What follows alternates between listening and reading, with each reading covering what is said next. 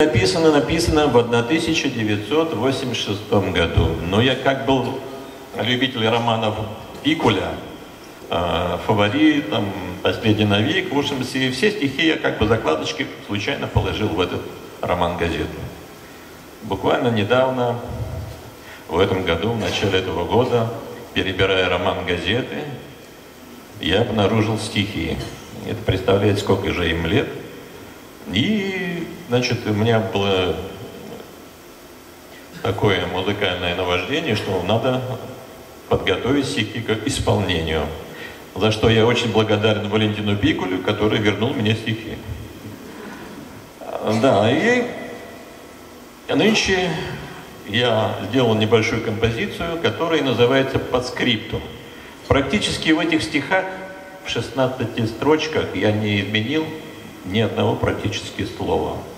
Вот как они были написаны, так и они остались. Я очень благодарен судьбе, что снова вернулся к своим строчкам.